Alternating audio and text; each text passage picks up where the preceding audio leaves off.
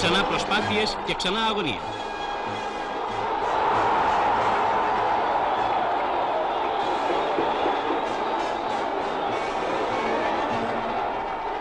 Αυτή τη φορά όμως οι ελπίδες πραγματοποιούνται και μεταφράζονται σε δύο γκολ που χαρίζει ο Παναθηναϊκός στον Ολυμπιακό μαζί με τη φιλοξενία στο γήπεδό του.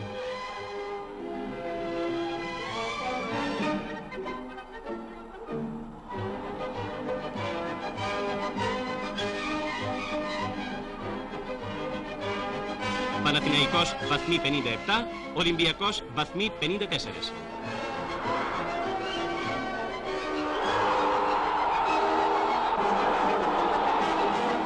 Έχουμε όμως ακόμη μπροστά μας και άλλους αγώνες.